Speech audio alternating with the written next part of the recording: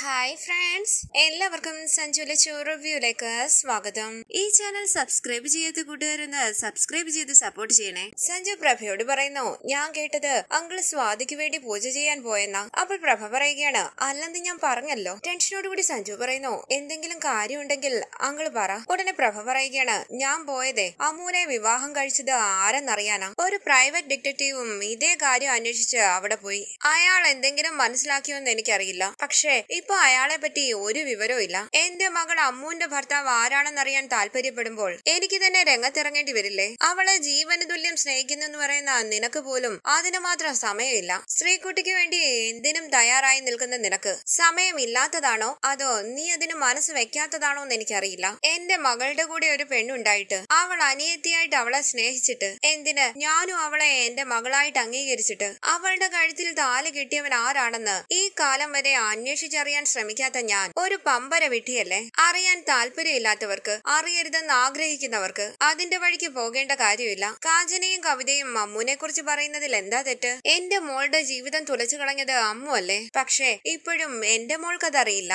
നീ എന്താ ഇത്രമാത്രം ആലോചിക്കുന്നത്? അമ്മുനെ പറ്റി ഇങ്ങനെയൊക്കെ പറയാൻ എനിക്കെങ്ങനെ തോന്നിയെന്നല്ലേ? അമ്മുവിന്റെ ഭർത്താവിനെ അമ്മു തന്നെ ചൂണ്ടിക്കാണിച്ചു കൊടുത്തിരുന്നെങ്കിൽ വിവാഹാൽബം തേടി ശ്രീകുട്ടിക്ക് പോകേണ്ടി വരുമായിരുന്നോ? ഇത് കേട്ട് സഞ്ജു പറയുന്നു അങ്കിൾ കുറച്ച് കൂടുതൽ കഴിച്ചു. നമുക്ക് രാവിലെ സംസാരിക്കാം. അങ്കിൾ ഇപ്പൊ പോയി കിടന്നുറങ്ങ്. പ്രഭ പറയുന്നു ഇതേ ഈ വർഷത്തെ പുതിയ ദിവസമാ. ഇന്നലെ വരെ അണിഞ്ഞ വിട്ടിവേഷം ഇനി അണിയാൻ ഞാൻ തയ്യാറല്ല. ഞാൻ മാത്രമല്ല എന്റെ മോളും. ഞാൻ അവിടെ പോയി അന്വേഷിച്ചു. പക്ഷേ അവിടെ ഉള്ളവർക്ക് അമ്മുവിന്റെ ഭർത്താവിനെ കണ്ടാലേ തിരിച്ചറിയാൻ പറ്റൂന്ന്. അവനെ പറ്റി മറ്റൊരു വിവരം പോലും എന്തിന്? അവന്റെ പേര് പോലും അവർക്കറിയില്ലാന്ന്. എന്ന് വെച്ചാൽ നമ്മൾ സംശയിക്കുന്നവന്റെ ഫോട്ടോ അവരെ കൊണ്ടുപോയി കാണിക്കണം. അവനും അവളും ഇടയ്ക്കിടയ്ക്ക് ആ നാട്ടിൽ പോകാറുണ്ടത്രേ. അതിൽ നിന്നും മനസ്സിലാക്കേണ്ടത് അമ്മൂനും അവളുടെ ഭർത്താവിനും ഇപ്പോഴും ബന്ധമുണ്ടെന്നല്ലേ? ഇതിവിടെ ആർക്കെങ്കിലും അറിയുമോ? അവന് നാട്ടുകാർക്ക് ഹീറോയാ. അവനും അവളും ഒരേ വീട്ടിൽ സന്തോഷത്തോടെ ജീവിക്കുന്നുണ്ടെന്നാ നാട്ടുകാര് വിശ്വസിക്കുന്നത്. നാട്ടുകാരെ അത്തരത്തിൽ തെറ്റിദ്ധരിപ്പിച്ചു വെച്ചിരിക്കുകയാ അവനും അവളും. ദേ ഇതിങ്ങനെ തുടർന്നോണ്ട് പോകാൻ പറ്റില്ല. ഇന്നലെ വരെ അമ്മു പറഞ്ഞ കഥകൾ ഞാനും ഈ വീട്ടുകാരും വിശ്വസിച്ചു. അവളും ഭർത്താവുമായിട്ട് ഇപ്പൊ ഒരു ബന്ധവും ഇല്ലെന്ന് അവൾ പറഞ്ഞു വിശ്വസിപ്പിച്ചു. പക്ഷേ അവർ തമ്മിൽ കാണാറുണ്ട്. ഒരുമിച്ച് യാത്ര ചെയ്യാറുണ്ട്. രണ്ടുപേരും ചേർന്ന് നാട്ടുകാരെയും ഇവിടെ ഉള്ളവരെയും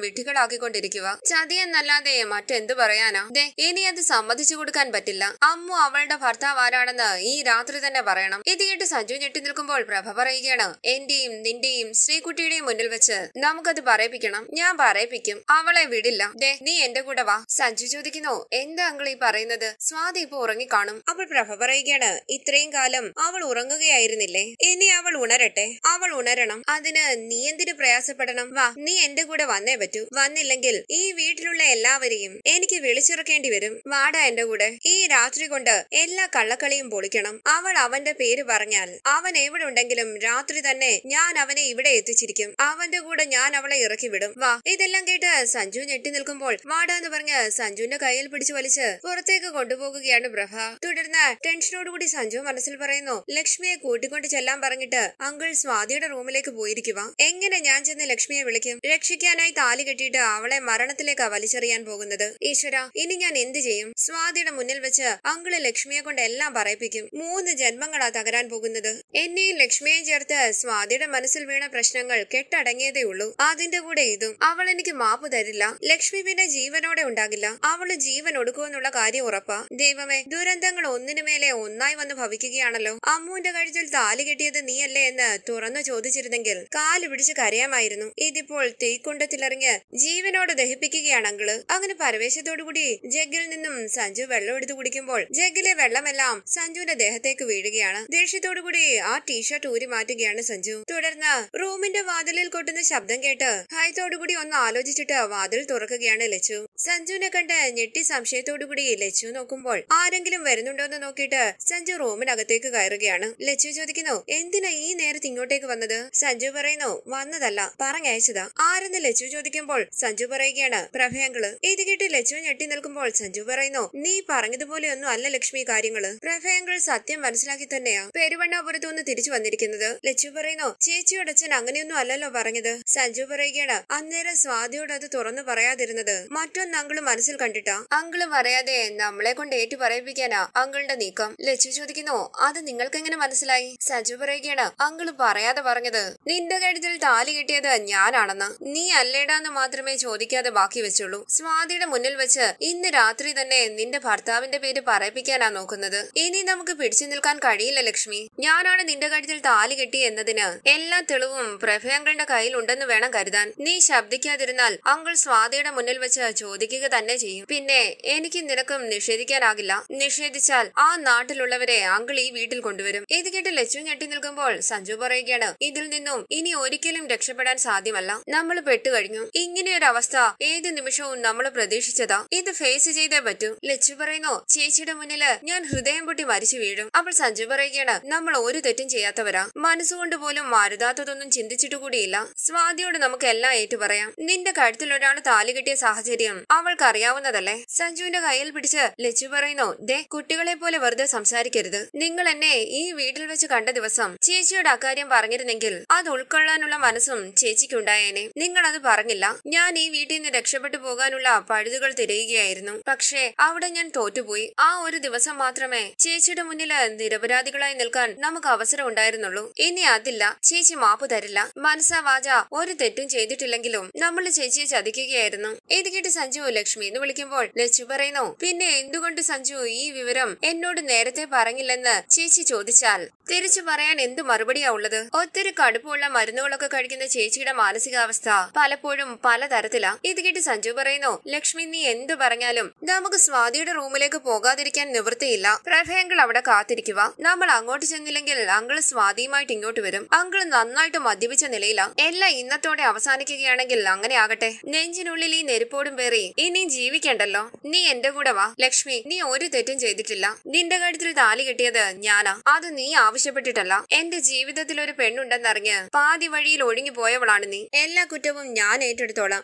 സ്വാതി എന്റെ വിധി നിശ്ചയിക്കട്ടെ. അങ്ങനെ സഞ്ജു ലച്ചുവിന്റെ കയ്യിലേക്ക് കയറി പിടിക്കുമ്പോൾ വിശ്വസിക്കാനാകാതെ സഞ്ജുവിനെ നോക്കുകയാണ് ലച്ചു. വാന്നും പറഞ്ഞ ഭയന്ന് നിൽക്കുന്ന ലച്ചുവിന്റെ കൈയും പിടിച്ച് റൂമിൽ നിന്നും പോകുകയാണ് സഞ്ജു. ഈ സമയം ജഗിലെ വെള്ളവുമായി ഹോളിലേക്ക് വരുന്ന മുത്തശ്ശൻ. റൂമിൽ നിന്നും ഇറങ്ങി വരുന്ന സഞ്ജുവിനെയും ലച്ചുവിനെയും കാണുകയാണ്. മുത്തശ്ശനെ കണ്ട് അവർ ഞെട്ടി നിൽക്കുമ്പോൾ മുത്തശ്ശൻ ചോദിക്കുന്നു നിങ്ങളെന്താ ഈ നേരത്ത്? സഞ്ജു ചോദിക്കുന്നു മുത്തശ്ശൻ കിടന്നില്ലേ? അപ്പോൾ മുത്തശ്ശൻ പറയുകയാണ് കിടന്നതാ. ഒരു പരവേശം വന്ന് കുടിക്കാൻ നോക്കിയപ്പോൾ ഒരു തുള്ളി വെള്ളമില്ല. വസുമതിയെ വിളിച്ചുണർത്തേണ്ടെന്ന് കരുതി എഴുന്നേറ്റ് വന്നതാ. ലച്ചു പറയുന്നു മുത്തശ്ശി വെള്ളം എടുക്കുന്നത് ഞാൻ കണ്ടിരുന്നു മുത്തശ്ശ. അതാ ഞാൻ വെള്ളം കൊണ്ടുവരാതിരുന്നത്. മുത്തശ്ശൻ പറയുന്നു വസുമതി വെള്ളം എടുത്തിട്ട് കാര്യമുണ്ടോ മോളെ? അത് റൂമിൽ കൊണ്ടുവരണ്ടേ? ഇത് കേട്ട് പുഞ്ചിരിച്ച സഞ്ജുവും ലച്ചുവും മുഖത്തോട് മുഖം നോക്കുമ്പോൾ മുത്തശ്ശൻ ചോദിക്കുന്നു നിങ്ങളിപ്പോ എങ്ങോട്ടാ? അത് പറ സമയം ഒരുപാട് വൈകിയില്ലേ? സഞ്ജു പറയുന്നു ഒന്നുമില്ല മുത്തശ്ശ. പ്രഭയെങ്കിൽ ആമൂനെയും കൂട്ടി സ്വാതിയുടെ അടുത്തേക്ക് ചെല്ലാൻ പറഞ്ഞു. മുത്തശ്ശൻ ചോദിക്കാണ് പ്രഭ എന്തിനാ രണ്ടും കെട്ട നേരത്ത് നിങ്ങളെ ശ്രീകുട്ടിയുടെ റൂമിലേക്ക് വിളിപ്പിച്ചത്? എന്തെങ്കിലും സംസാരിക്കാനുണ്ടെങ്കിൽ അത് നേരം വെളുത്തിട്ട് പോരെ. അപ്പോഴൊന്ന് പതറി സഞ്ജു പറയുകയാണ്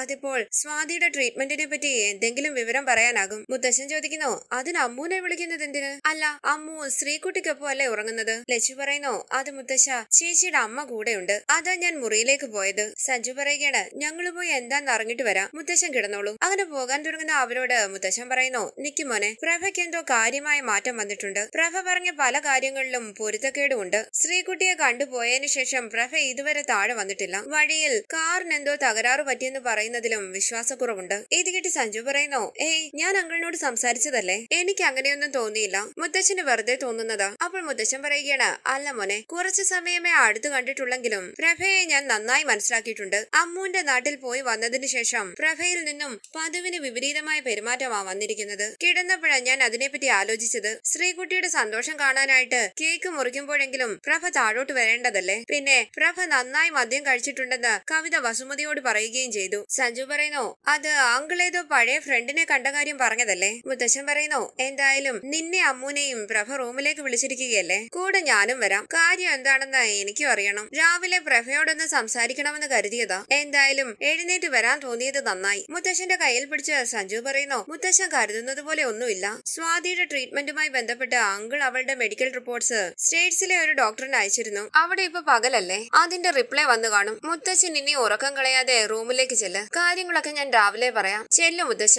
ലച്ചുവിനെ ഒന്ന് നോക്കിയിട്ട് മുത്തശ്ശൻ പറയുന്നു ചെന്ന് കിടന്നാലും എനിക്ക് ഉറക്കം വരില്ല. എന്തായാലും വിവരങ്ങൾ അറിഞ്ഞിട്ട് തന്നെ പോകാം. ഇത് കേട്ട് സഞ്ജുവും ലച്ചുവും ടെൻഷനോട് കൂടി നിൽക്കുമ്പോൾ മുത്തശ്ശൻ ചോദിക്കുന്നു അല്ല നിങ്ങളെന്താ മടിക്കുന്നത്? ഇനിയും ഞാൻ അറിയാൻ പാടില്ലാത്ത എന്തെങ്കിലും ആണോ? എന്നാൽ എനിക്കതൊന്നും അറിയണമല്ലോ. വാ എന്റെ കൂടെ രണ്ടാളും. അങ്ങനെ മുത്തശ്ശൻ സ്വാതിയുടെ റൂമിലേക്ക് പോകുമ്പോൾ സഞ്ജുവിന്റെ കയ്യിൽ പിടിച്ച് ഭയത്തോടു കൂടി ലച്ചു ചോദിക്കുന്നു ഇനി എന്ത് ചെയ്യും? എനിക്കറിയില്ല. വാ ഇങ്ങോട്ടെന്ന് പറഞ്ഞ് ലച്ചുവിന്റെ കയ്യിൽ പിടിച്ച് വലിച്ച് മുത്തശ്ശൻ മുത്തശ്ശന്റെ പിന്നാലെ പോകാനായി തുടങ്ങുകയാണ് സഞ്ജു. ഞാൻ പറയട്ടെ എന്ന് പറഞ്ഞ് ലച്ചു സഞ്ജുവിനെ പിടിച്ചു നിർത്തുമ്പോൾ വരാനെന്ന് പറഞ്ഞ് ലച്ചുവിനെയും പിടിച്ചു വലിച്ച് സ്വാതിയുടെ റൂമിലേക്ക് പോകുകയാണ് സഞ്ജു. തുടർന്ന് പ്രഭ ബെഡിൽ ചാരിയിരുന്ന് ഉറങ്ങുന്നു. കയ്യിൽ പിടിച്ച് പ്രഭയുടെ തോളിൽ ചാഞ്ഞു കിടന്നുറങ്ങുകയാണ് സ്വാതി. മുത്തച്ഛനും സഞ്ജുവും ലച്ചുവും അവിടേക്ക് വരുന്നു. മുത്തച്ഛൻ പറയുന്നു പ്രഭയും മോളും ഉറങ്ങിയല്ലോ മോനെ. സഞ്ജു പറയുകയാണ് ഉറങ്ങിയ നിലയ്ക്ക് ഇനി അവരെ ഉണർത്തണ്ട മുത്തശ്ശ മുത്തച്ഛൻ പറയുകയാണ് ഇങ്ങനെ ഇരുന്നാണോ ഉറങ്ങേണ്ടത്? ശ്രീകുട്ടി ഇതേ ഇരിപ്പിൽ ഉറങ്ങാൻ പാടില്ല. അങ്ങനെ പ്രഭയെ തട്ടിപ്പിടിച്ചുകൊണ്ട് മുത്തശ്ശൻ പറയുന്നു പ്രഭ കണ്ണു തുറക്ക്. നീ ഇങ്ങനെ മോളെ ഇരുത്താതെ അവളെ കിടത്ത്? പ്രഭ വിളിച്ചിട്ടൊന്നും അറിയുന്നില്ല. അപ്പോൾ സഞ്ജു പറയുന്നു അങ്കിൾ കുറച്ച് മദ്യപിച്ചിട്ടുണ്ട്. പിന്നെ യാത്രാക്ഷീണവും ഉണ്ട്. എത്ര വിളിച്ചാലും പ്രഭയങ്കൾ ഉണരാൻ പോകുന്നില്ല. മോളെ ശ്രീകുട്ടിന്ന് മുത്തശ്ശൻ വിളിക്കുമ്പോൾ സഞ്ജു പറയുന്നു ഇവൾ ഉണരുമെന്ന് തോന്നുന്നില്ല മുത്തശ്ശ. മരുന്നിന്റെ സെഡേഷൻ ഉണ്ട്. ഇത് കേട്ട് മുത്തശ്ശൻ പറയുകയാണ് എന്നാൽ ഇവളെ ഒന്ന് നേരെ കിടത്ത്. പിടിവിട്ടിവൾ കുഴഞ്ഞു പോകും. അമ്മു വാന്നു പറഞ്ഞ് ലച്ചുവിന്റെ സഹായത്തോടുകൂടി സഞ്ജു സ്വാതിയെ നേരെ കിടത്തുകയാണ്. ശേഷം സഞ്ജു പറയുന്നു ഇവരുറങ്ങട്ടെ മുത്തശ്ശ. അങ്കിൾ